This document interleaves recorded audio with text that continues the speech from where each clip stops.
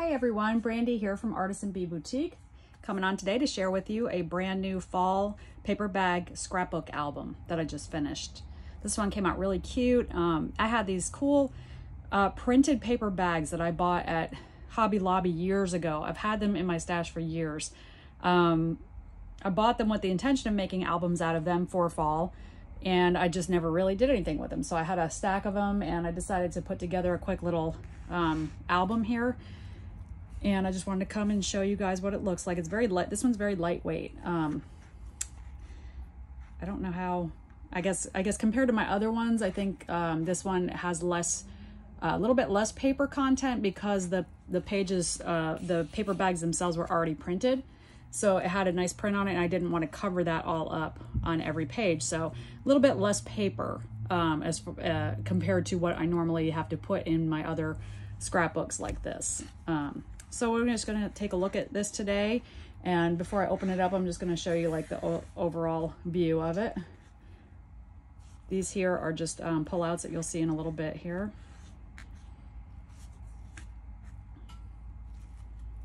Okay, so I just did a little um, basic ribbon tie closure for this one. Um, just a pretty coordinating pattern there. And uh, I put a little um, hole that it slides through in the front there with a, I guess you would call that like an antiqued brass or bronze, I'm not sure, um, grommet there. And then I did some uh, matching book corners. My lighting is kind of weird today. I've got um, a lot of shadows here. Sorry about that. Um, anyway, so these are the, if you can, if the camera's picking them up well, but these are the matching or the coordinating book corners. That just gives it a nice finish and protects the corners there and that just slides all the way out. This is a wood, like a, I guess a wood cutout. I got those um, from Hobby Lobby also on uh, in their fall decor section, this as well. It's like a paper sunflower. And then I did some trim here and burlap, uh, burlap paper spine on that. This is what it looks like when it's open. Let me zoom out a little bit here.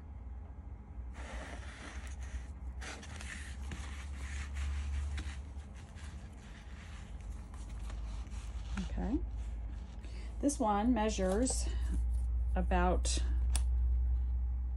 six inches long, or tall, I guess I should say, by five and a half inches this way. Okay, so this is the front page here, and the front page is a pocket from the bags. So you've got a pocket with a full-size pull-out page in it. I've finished both sides so you have um, spaces to put your photos. You can journal on it and however you however you like to use it.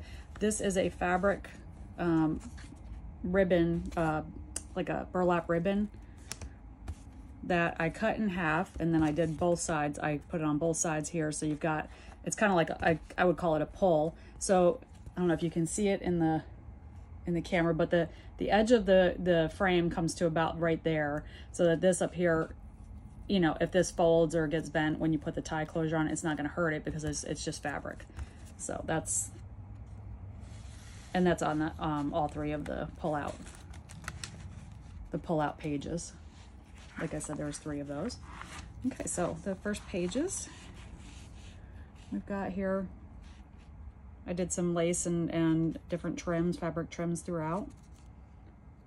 These um, photo frames or photo mats that are adhered are the perfect size to crop a 4x4 or uh, Instagram size photo too. And I, here you can see um, the reason why I didn't want, did not want to cover up the paper bags because they have such a cool just fall print on them. I didn't want to cover that up. I wanted that to be like the, the background of the pages. And I'll pull these out so you can see what that looks like. So that's, that's the actual, like what that looks like. So I didn't want to cover that up. And I just made a little pocket here with some pull out tags. I left the back blank, so you can use that for journaling or another photo if you like. And also this is kind of a slide here, so you could also tuck something under there as well. tuck spot. Okay, so that's the first two pages. And again, I'm, I apologize for the shadows here. My lighting is kind of wonky today. And the next ones. Now this pocket here is made from the um, flap of the, the paper bag. Little frame there that can be written on or cropped photo. And then another pull-out tag here. And these are my um, distressed paper clips with little fabric pulls on them. And you can just take those out and move and use them throughout the journal or the um, photo album as you wish. Scrapbook. More fabric trims there. Another full-size pull-out in this, this pocket. And I did some, um, I put some cardstock inside the pockets for, uh, just to give it a little bit of extra sturdiness there.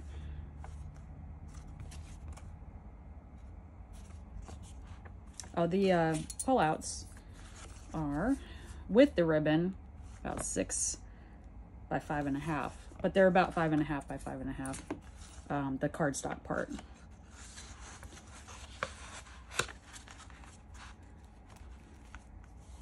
And some more photo frames with some torn ribbon or torn uh, fabric there. It's a stapled binding, as you can see. The outside of the binding, obviously, like we said before, is covered in burlap. Pull out tag and another, uh, this one is glued on and another uh, clip there for you. These are removable because the top is open here. That way you can tuck more things inside. And just another photo mat there with some more ribbon trim or fabric trim. And two more pullouts here.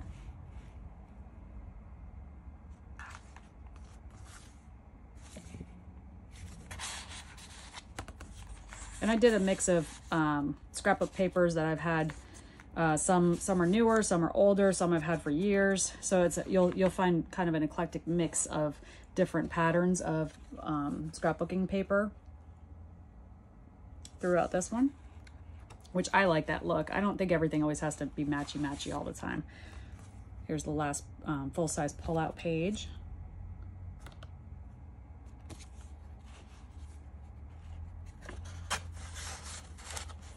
And these are just, these are great because you can just store so much inside here. They're just perfect for extra notes and photos and things. And uh, there are no, you'll see that there aren't any like word stickers and all that kind of stuff throughout this. Um, you know, because you should be able to, you know, you should be able to add your own like um, sentiments and stuff. So you can, you know, use spaces like this to maybe add uh, a word or just uh, something that you journal right here that you want to say.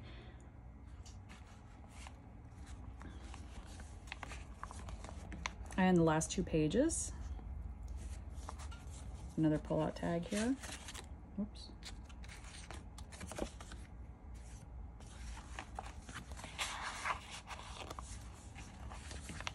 And nice ribbon trim here as well. Photo corners, uh, metal photo corners on the back. Just give it a nice finished look. It's a pretty straight to the point, you know, straightforward, straight to the point little little scrapbook and um, it would just make a really cool, you know, addition to your fall um, decor. It looks great just to kind of, you know, displayed on an end table or a mantle. And uh, when you're finished with it, you just take your pretty ribbon here and just loop it through the little hole, tie it up. Again, it's okay if these bend because it's just fabric, so there's not gonna, it's not gonna hurt them. These are fabric. I try not to tie it, tie it too tight just to not alter the look of the, um, the little kind of lace, you know, trim coming out the side there.